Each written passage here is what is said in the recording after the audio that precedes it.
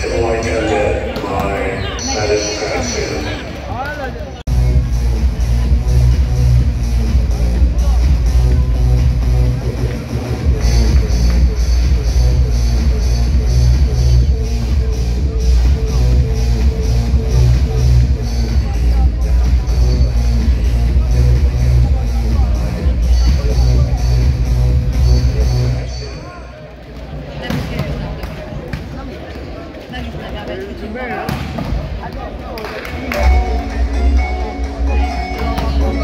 you.